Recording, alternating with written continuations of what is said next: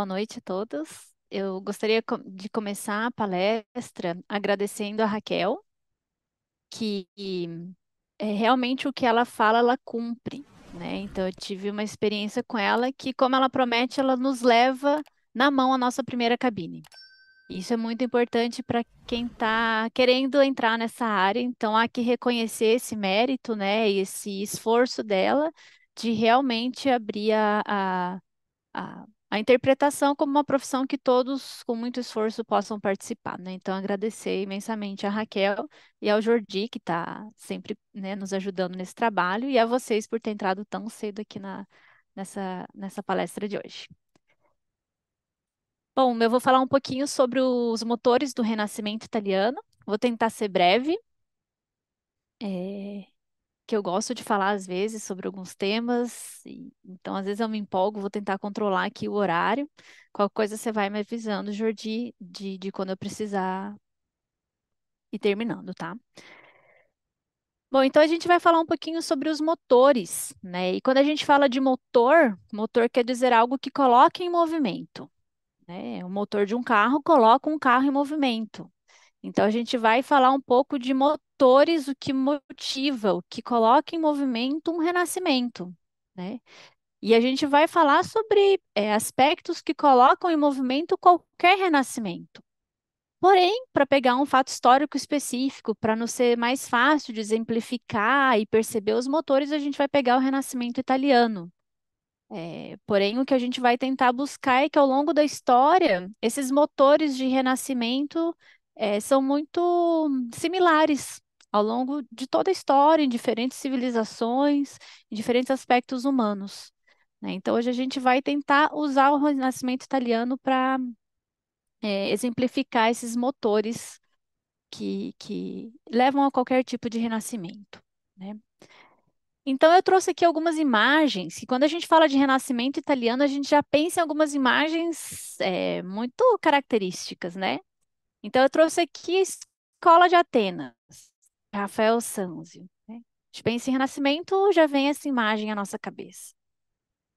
Depois a gente olha ali Nascimento de Vênus, de Botticelli. Falou em renascimento, já vem essas imagens na nossa cabeça, já vem muitas obras de arte na nossa cabeça.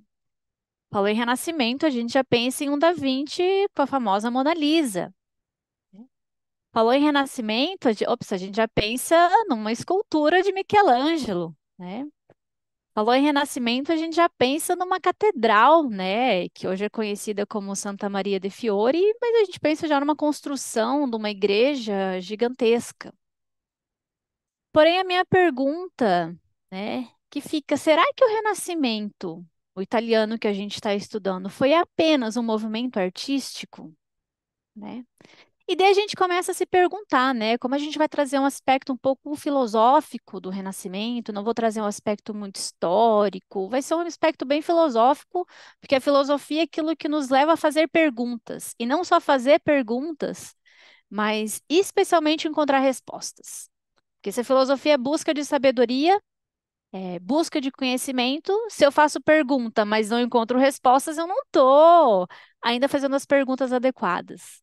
Então, a gente vai trazer algumas perguntas aqui para tentar nos ajudar a compreender um pouco do Renascimento e, quiçá, possamos juntos encontrar algumas respostas. Cada um vai encontrar respostas dentro de si, porque essa é a verdadeira resposta da filosofia. Cada um vai ter que saber encontrar suas próprias respostas. Então, as perguntas que eu trago sobre esse renascimento, né? Será que a arte, né, que a gente fala em Renascimento, pensa em todas essas obras de arte. Será que a arte surgiu do nada? Né? Será que o Renascimento foi isso? Só um monte de artistas pintando vários quadros, construindo várias esculturas? E daí, se a gente pensa um pouco da história, né, de onde vem o Renascimento, o que existia antes do Renascimento? Uma Idade Média. Então, será que no meio de uma Idade Média, do nada, alguns seres humanos começaram a fazer pinturas e esculturas maravilhosas que impactam a gente até hoje, 500 anos depois, sem nenhuma base, sem nenhum conhecimento, sem nenhuma escola. Outras perguntas que a gente se faz também quando vê o Renascimento como um movimento artístico, o que eles buscavam com essas obras de arte? né? E se a gente for um pouquinho antes, buscar a origem, a causa, o que movimentava esses seres humanos?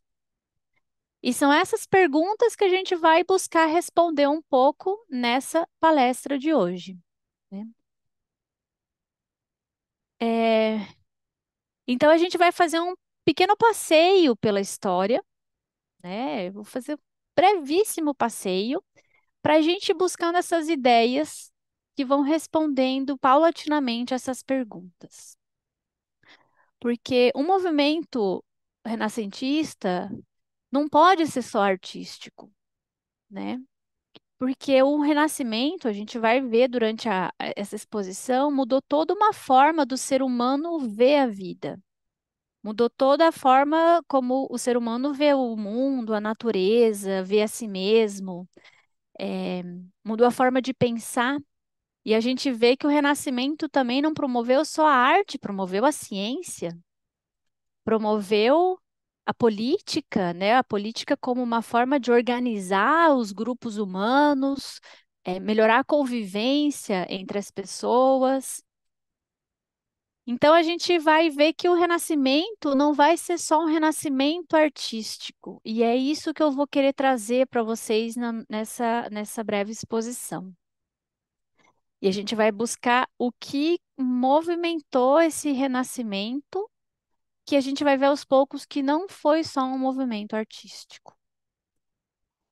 Quando a gente fala de renascimento, a gente também vai ter que se perguntar, né? Vai renascer o quê?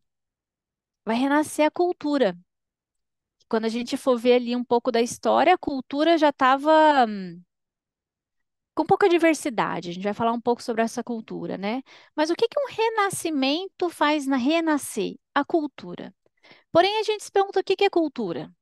Porque a gente pensa em cultura apenas como obras de arte. A gente pensa em cultura, ah, na minha cidade tem muita cultura, porque tem teatro, porque tem eh, shows, porque tem uma orquestra sinfônica, tem museu. Será que a cultura eh, são só obras de arte? Ou será que as obras de arte são reflexos já dessa cultura? Então, a gente vai falar um pouquinho sobre o que é cultura, porque isso é uma das essências de um renascimento. Cultura, né, trouxe uma imagem aí de uma cultura, uma agricultura, a cultura de agro, é, de, de umas plantas, né? Então, a cultura é um cultivo, é um cultivo de algo. Então, a agricultura é o cultivo de plantas, piscicultura é o cultivo de peixes. Para que que é cultura humana? O que que nós cultivamos? O que que é próprio do ser humano? Então, a cultura humana vai cultivar ideias, porque as ideias são próprias do ser humano. Os animais não têm ideias, as plantas não têm ideias. Quem tem ideias são os seres humanos, e é isso que a gente vai cultivar é, quando estamos cultivando uma cultura humana, né? E a cultura, então, por ser um sistema de ideias, que vão servir para quê, né? Para que que serve esse sistema de ideias? Para que que a gente tem ideias? Para a gente lidar com as nossas questões cotidianas, né? Então, a cultura vai ser esse sistema de ideias para a gente resolver todas as problemáticas da vida, enfrentar todos os desafios que nós enfrentamos cotidianamente. Por exemplo, né, numa empresa, a gente sempre que entra numa empresa tem lá a cultura da empresa. O que é a cultura de uma empresa? É como aquela empresa resolve as suas questões, né? Bom, essa, essa empresa aqui resolve as questões dela dessa forma, e você vai se ambientando aquela cultura, vai se endoculturizando para poder resolver as questões da empresa como as pessoas lá costumam resolver né? É da cultura de um país, de um povo, ver a vida dessa forma, viver a vida dessa forma. Então, a cultura vai ser sistema de ideias de como as pessoas vão se relacionando e juntas, coletivamente, vão solucionando os problemas próprios dos seres humanos. né? E essa cultura, ela vai vir de experiências passadas, né? A gente não cria uma cultura do nada. A gente cria uma cultura baseada em experiências que a gente já teve, que esse grupo humano já teve, mas necessidades do momento presente. né? Se essa cultura, se esse, esse monte de experiência que a gente vai recolhendo não resolve as necessidades do presente, ela já não serve mais. Então a gente tem que movimentar um pouco essa cultura, né? É... E se a gente tem, por exemplo, né, eu vou usar essa imagem de uma cultura, um cultivo de milho, eu acho que está aí. Vamos falar de batatas, eu adoro falar de batatas. Se a gente tem uma cultura só de batatas, no início as batatinhas vão pegar, né? Uma boa. Daí no ano seguinte eu planto batata de novo. E no ano seguinte eu planto batata de novo. E no ano seguinte batata. E no ano seguinte batata. Depois de alguns anos só plantando batata, o que, que vai acontecer com o solo? O solo vai ficar pobre. O solo já não vai mais conseguir cultivar batatas. Então, né, quem trabalha no campo sabe que você tem que fazer uma rotação, né? Você planta batata, no ano seguinte planta arroz, depois você planta feijão, depois você volta para batata. Você vai movimentando aquele solo com diversas sementes, com diversas plantas. E essa diversidade vai tornando o solo rico. Agora, se a gente for falar de cultura humana, cujas sementes são as ideias, se eu sempre coloco as mesmas ideias, as mesmas ideias, as mesmas ideias, eu tenho pouca diversidade. O solo vai começar a ficar infértil, né? Se eu não me abro para novas ideias, a minha mente vai ficando pouco fértil. A minha mente vai ficando pouco rica, vai ficando enrijecida, e se várias pessoas vão ter sempre só as mesmas ideias, a gente tem pouca diversidade cultural. Então, o solo vai morrendo, a cultura vai morrendo. Por isso que um dos papéis das escolas de filosofia ao longo de toda a história foi disseminar ideias, foi fazer com que os seres humanos pudessem aprender a se abrir a novas ideias que eu possa ouvir as ideias dos demais, que novas ideias vão movimentar o solo da minha mente. E aí eu vou ter um ambiente rico, em que tudo que eu plantar vai poder crescer. E a gente vai tendo uma colheita mais saudável, mais natural. É, e por isso que a filosofia, ao longo de toda a história, foi buscar esse conhecimento através de um diálogo entre as pessoas, entre trocas de ideias, porque isso dá uma diversidade cultural. E bom, para a gente agora, entendendo que é cultura, a gente vai poder falar um pouco sobre a história, como culminou no Renascimento. É, Antes do Renascimento, a gente estava vivendo uma Idade Média. A gente, porque é humanidade, né? Nós fazemos parte da humanidade, então todos nós estávamos vivendo uma Idade Média antes do Renascimento, né? E o que que, como que começa a Idade Média? Lá no século VI, mais ou menos, um imperador mandou fechar, um imperador romano, né, Justiniano, mandou fechar todas as escolas de filosofia. Quando fecham as escolas de filosofia, lá no século VI, para essa diversidade cultural, para a disseminação de ideias, o cultivo de diferentes ideias. E nessa entrada da Idade Média, o ser humano, ao invés de ver as questões da vida, né, solucionar seus problemas através de diferentes ideias, ideias filosóficas, políticas, artísticas, científicas, religiosas, o ser humano começa a ver por uma questão histórica, toda a sua vida e toda a solução dos seus problemas através apenas de uma perspectiva, perspectiva religiosa. Né? Essa Idade Média que a gente está falando da Idade Média agora europeia ali, né? Do século V e XV, mais ou menos. Bom, e o que, que acontece é, quando a gente coloca só um cultivo, só uma ideia religiosa para resolver todos os problemas da vida? Essa cultura não é má, de forma alguma. Só que depois de mil anos, só com as mesmas sementes, com as mesmas ideias, só com uma perspectiva religiosa da vida, do cosmos, do ser humano, essa cultura já não atende mais às necessidades do momento. como a gente falou das batatinhas lá atrás, imagina, eles ficaram mil anos plantando batatas. Mil anos com uma perspectiva apenas religiosa da vida. Então, é, faltavam outras perspectivas, outras ideias, outras sementes para que o ser humano pudesse resolver as suas questões, os seus desafios cotidianos. Porque a vida vai mudando, a vida vai nos pedindo cotidianamente novas soluções para antigos problemas. Então, a Idade Média se caracteriza por esse momento em que a cultura já não era com uma diversidade cultural, né? já não era hum, natural já não era tão diversa. Essa Idade Média vai se caracterizar por essa forma muito limitada de ver as coisas. E durante muitos anos, o ser humano continuou buscando respostas, por mais que o ambiente cultural fosse apenas religioso, o ser humano sempre buscou respostas. É, vamos ver ao longo de toda a Idade Média várias tentativas de renascimento que não deram certo por várias questões, mas o ser humano sempre esteve lá procurando. E até que no século XV, 1400 e pouco, a gente consegue, né, nós seres humanos, conseguimos dar nascimento, um novo renascimento a uma nova cultura. E então, esse berço desse nascimento, desse novo nascimento da cultura foi em Florença, na Itália.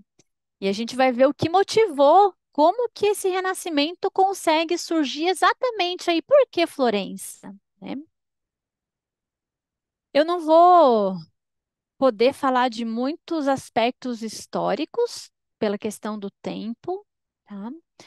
Mas eu vou falar de alguns personagens centrais só, Porém, nesse momento histórico ali, 1300 e pouco, 1400 e pouco, várias revoluções tecnológicas já estavam acontecendo que foram mudando o cotidiano das cidades.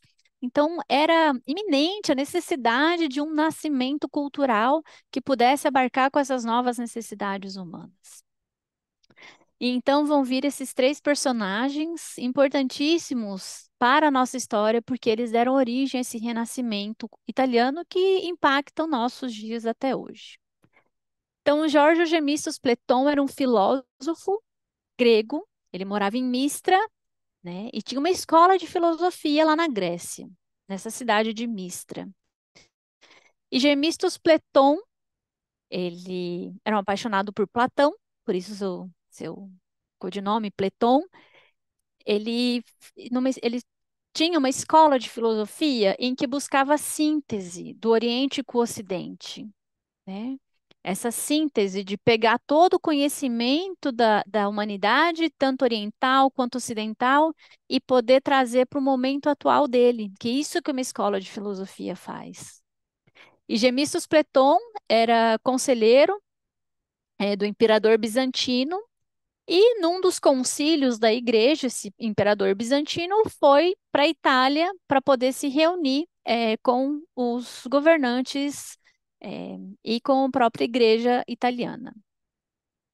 E Platão, enfim, por várias questões mudaram o concílio que ia ser em Ferrara, foi para Florença. Platão foi parar em Florença num concílio em Florença.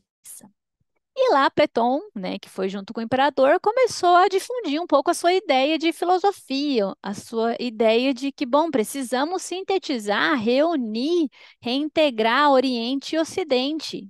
Ou, numa perspectiva humana, o lado direito e o lado esquerdo do cérebro. E se a gente pensa só racional, não dá. Se a gente fica só na criatividade, não dá. A gente tem que unir as nossas potencialidades. Então, Gemistos Platon fazia isso a nível de humanidade, unindo os hemisférios orientais e ocidentais do planeta. Né? E ele começou a difundir isso, a, a falar para as pessoas sobre isso, até que ele conhece Cosme de Medici, que era um governante da cidade de Florença, que encontrou aí é, algo para qual dedicar a sua vida, né? É, Gemistos Pleton chega em Florença em 1437 e dois anos depois, 1439, Cosme de Medici já tinha 45 copistas trabalhando. Copistas eram pessoas que copiavam, porque não existia imprensa na época. É, ter um livro era algo muito difícil. Como que a gente vai fazer com que o conhecimento chegue às pessoas? Então, Cosme de Medici começou a reunir esse conhecimento, é, essa literatura, Platão, Plotino, Hermes Trismegisto, enfim, muitos é, antigos pensadores e começou a ter copistas, copiando para poder é, com que essas obras permanecessem. Ele, inclusive, fundou né, a primeira biblioteca pública de Florença. Né? Esses copistas copiavam e colocavam à disposição das pessoas.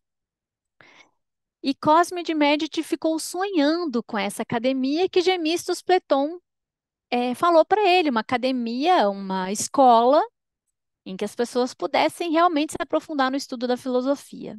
E Cosme de Medici sonhou com isso, até que conhece Marcílio Fitino ainda criança. Criança não, ele era um jovem. Né?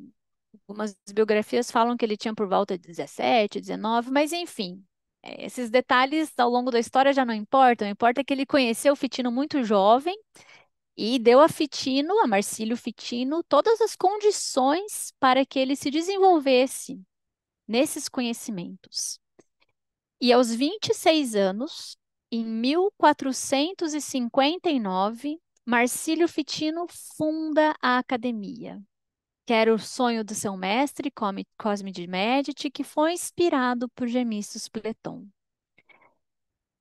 E Marcílio Fitino fez um trabalho excepcional na Academia Platônica. Essa é uma foto atual lá, né? A, a, o prédio ainda existe.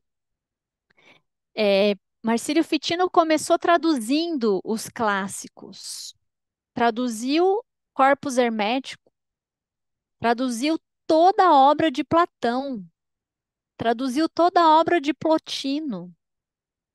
E começou a traduzir, porque os copistas copiavam, mas nem todos falavam as línguas em que essas obras eram encontradas, porque algumas obras eles foram buscar no Oriente Médio, outra em outros países da Europa.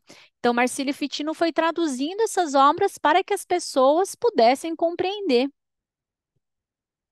E depois de um tempo, é, o filho de Medici, né, do Cosme de Medici, já pediu para o Marcílio Fitino começar a dar conferências públicas. Vamos não só copiar e traduzir, mas vamos começar a falar isso para as pessoas. E então a academia começou a receber muitos sábios, muitos governantes, muitos influentes, muitos aristocratas, enfim, muitas pessoas da Europa inteira que iam para lá para assistir às conferências de Fitino, para trocar ideias, para enriquecer essa cultura. E o que é muito bonito é que tanto Marcílio Fitino quanto Cosme de Medici não viam academia como essa reunião de 150 pessoas que às vezes se encontravam lá. Nas cartas deles, que a gente pode estudar hoje, é, eles viam a academia platônica a nível de humanidade. Eles falavam que era algo, essa academia ia elevar, elevar a espécie humana por um longo período. Então, eles iam, iam acrescentar muita coisa para o ser humano, não para aquelas 150 pessoas que estavam ali, mas para toda a humanidade.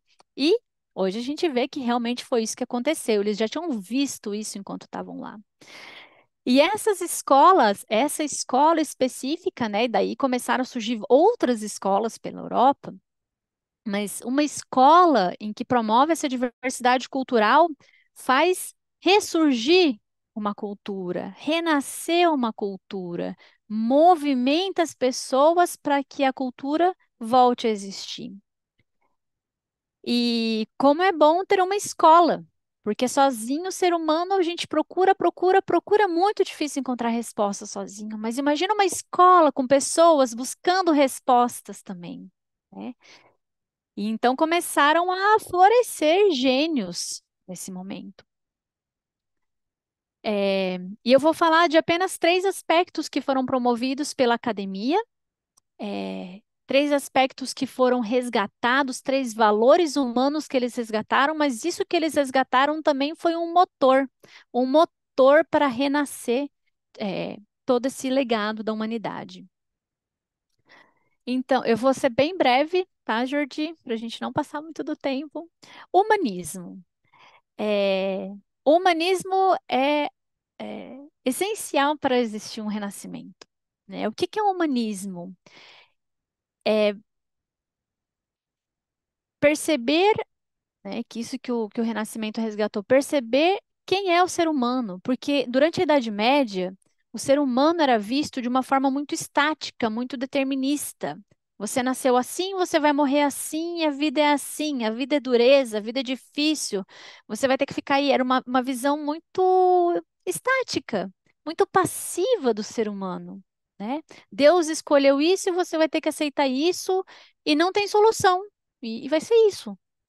Com o humanismo, o ser humano se torna é, realmente um arquiteto do seu destino. Ele passa a escolher o seu papel perante a vida. Ele passa a escolher o seu papel perante o mundo. Ele passa a ser ativo na vida. E o humanismo, então, é algo excepcional para que a gente possa voltar a se sentir arquitetos do nosso próprio destino, senhores da nossa própria vida. Então, um dos elementos, um dos motores que o Renascimento trouxe, que move o ser humano, é esse humanismo, resgatar é, as rédeas da nossa vida. Outro aspecto é a dignidade, e a dignidade é respeitar a nossa própria essência. Cada um de nós tem um ser, tem uma essência que nos anima. E é encontrar esse ser, né? Encontrar esse ser e atuar na vida em função desse ser. É por isso que essa frase, dignidade, está relacionada com a capacidade de conjugar o conjunto do nosso ser em todos os seus aspectos. Porque temos muitos aspectos em nós. Como eu posso unificar tudo isso, me tornar uma pessoa íntegra? Viver de acordo com quem eu sou, né? É um princípio de moralidade. É, e algo muito interessante que se a gente pensa nessa dignidade, que é respeitar a nossa essência e atuar de acordo a ela, a gente vai vendo que toda essa, toda essa dignidade vai passar pela mente, né? Então, a dignidade se baseia na nossa mente, se baseia na nossa forma de pensar. Por isso, temos que pensar bem. Temos que ter bons pensamentos porque isso nos torna dignos. Né? E um outro aspecto que o Renascimento traz, que é o que a gente vê muito nas obras de arte, né? É sobre a beleza. Qualquer obra renascentista que a gente se depara, qualquer obra, independente dos nossos gostos e desgostos pessoais. A gente olha uma obra renascentista, não tem como não ver beleza. E o que, que é beleza? É, para a filosofia, né, Platão, por exemplo, nos fala de um mundo das ideias, um mundo arquetípico. E essas ideias arquetípicas, essas ideias de unidade, de eternidade, é, de algo sublime, essas ideias, quando tocam a matéria, e essa matéria se aproxima dessa ideia, ela se torna bela. Então, quando algo está imbuído de uma ideia, não é só a casca. Quando a gente fala da casca, eu gosto de falar da boniteza da casca. Mas quando algo tem não só a casca, mas uma essência que se aproxima da ideia que é a origem dessa, dessa é, elemento que a gente está vendo, né? Então, quando algo se aproxima da ideia que dá origem a, a essa manifestação, ela vai se tornando bela. Então, a beleza é quando a gente é capaz, quando algo é capaz de tocar o atemporal, que é a origem do que é temporal. Então, quando a gente olha aquelas obras de arte do início, né, da, da apresentação, é, quando aquelas imagens se tornam atemporais, porque não é um tempo específico que a gente está falando, só as pessoas daquele tempo e daquele lugar vão achar isso belo. Porque ela está falando de algo tão sublime, tão elevado, que todos nós podemos nos impactar com aquela beleza.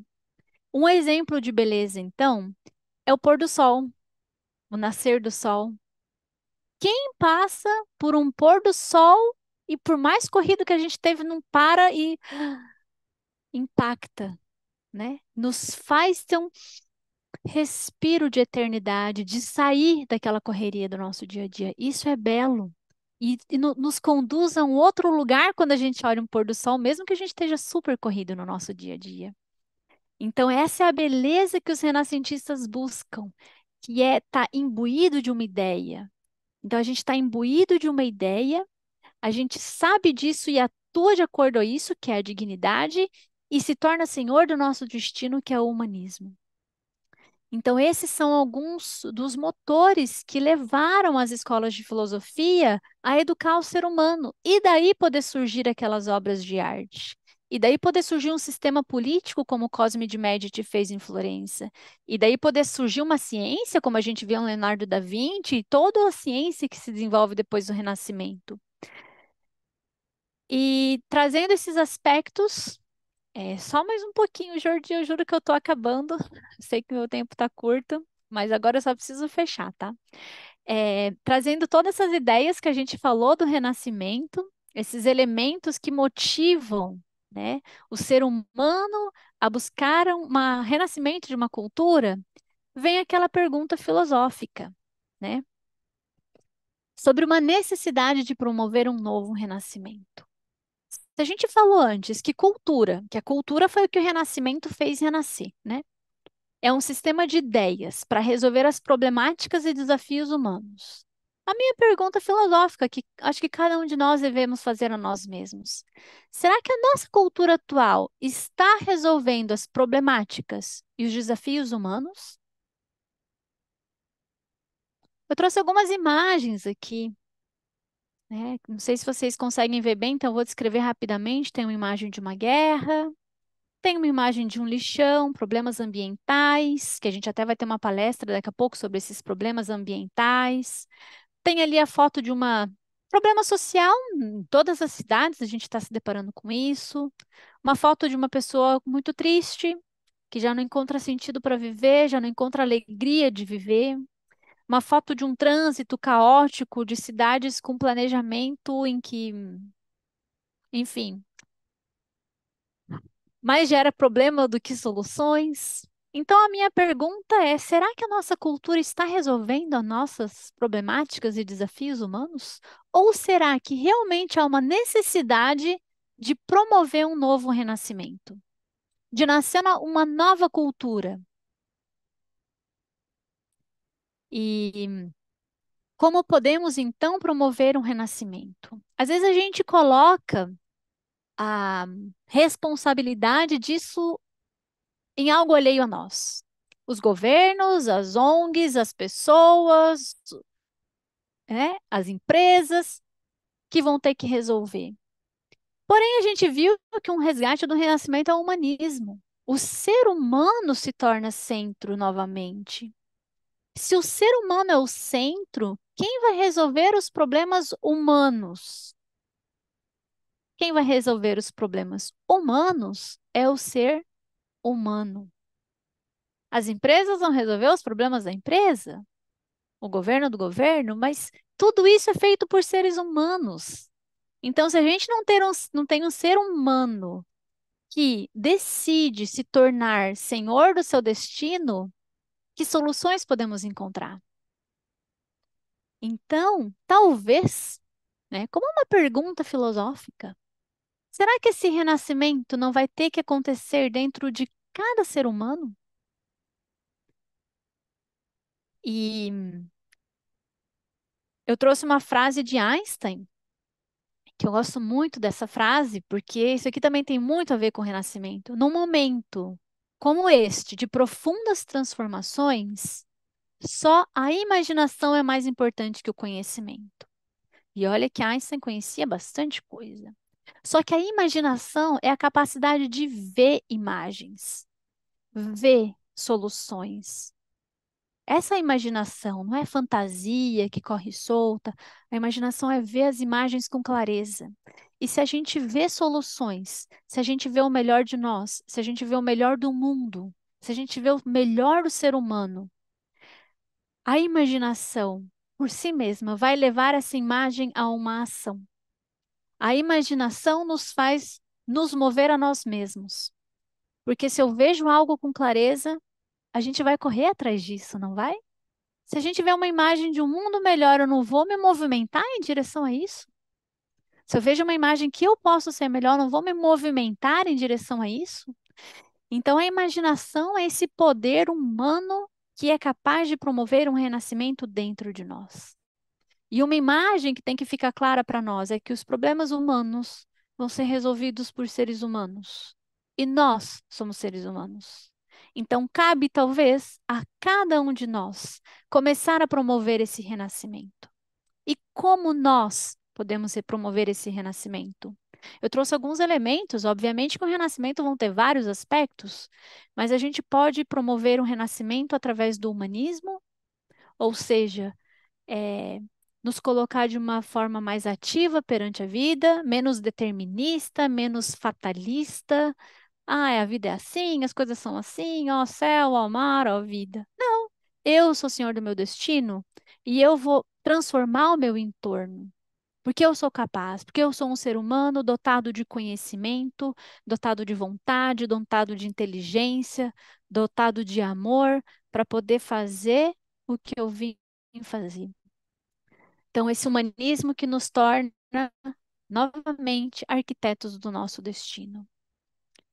Talvez caiba a nós resgatar individualmente essa dignidade, que a dignidade significa expressar o melhor que nós temos, ser o melhor que nós temos, encontrar dentro de nós o melhor que nós temos e aí poder expressar isso para o mundo. Imagina se todas as pessoas buscassem expressar o melhor delas mesmas. Né? Imagina se todas as pessoas tivessem uma escola em que pudessem descobrir qual o melhor delas mesmas e então expressar. E também resgatar essa beleza. Que a beleza, é, ultimamente, é poder se aproximar do atemporal, poder se aproximar do elevado, do eterno, do natural. A natureza é bela. Então, talvez cabe a cada um de nós retomar as rédeas da vida, da nossa vida, expressar o melhor de nós mesmos e ter essas aspirações sublimes, transcendentes, que transcendem tudo que é temporal, é efêmero e que vai morrer. E talvez dessa forma, com muitos seres humanos buscando essas ideias, o renascimento seja possível o renascimento de uma nova cultura, de um novo cultivo de ideias, de uma cultura com uma diversidade, em que eu possa escutar a sua ideia, você possa escutar a minha ideia e juntos chegaremos a uma nova ideia. Porque se eu não me abro para novas ideias, eu vou continuar no meu estaticismo medieval. Eu vou continuar parado numa cultura que não resolve mais os meus problemas. Então, talvez o papel da escola de filosofia seja criar esse ambiente em que a gente vai buscar no passado todo esse conhecimento, que foi o que fez a Academia Platônica de Florença, buscou no passado todo esse conhecimento, resolveu as problemáticas do presente e se lançou para o futuro, o futuro da humanidade. E gostaria de fechar com uma frase de Marcílio Fitino, que ficava nas paredes da academia, e não vai dar tempo de eu abordar todos os aspectos, mas ele fala assim: todas as coisas vão da luz para a luz. Alegre-se no presente, não busque honrarias, evite excessos, evite negócios, alegre-se no presente.